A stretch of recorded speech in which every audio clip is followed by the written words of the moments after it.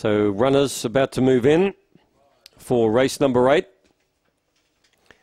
I guess Times Due's got a bit more early than Getty Bale. Getty Bale looks very strong. They're just about ready. Track is cleared. Lucky Lester puts the green light on. The lure's running. Stand by for a start. The five and the six are the favourites. Ready and racing it. Uh, got away brilliantly. Getty Bale straight to the front, unexpected, and leads by two or three round the first turn. Emily Avenger is railing up to join it though as they head to the back. They're followed a couple away by Times Due. Out wide on the track was Smash Dip. Further back was Ortiz Bale. A gap in the field to Gruben. Well back then was Jesse Foz and last of all Gangala Swift. But Emily Avenger has dashed away. Now Getty Bale is digging in. Is it going to be too late? It's darting through along the rail. Yes, it snatched the lead and wins again. It's Getty Bale scoring for Emily Avenger. Ortiz Bale got third. A gap in the field then to Times Due, who got tired.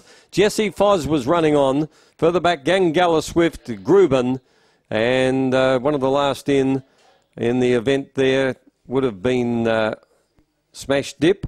It's 5136. She coming to the turn, didn't look good.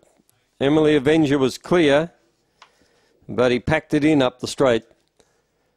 He's had a few soundness uh, problems, Emily Avenger. He's got plenty of, uh, plenty of speed. 30 and 84 is the time.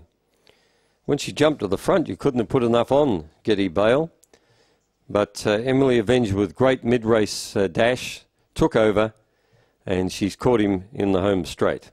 5136. 5136 are official. Getty Bale, Emily Avenger, Ortiz Bale, and Times Due.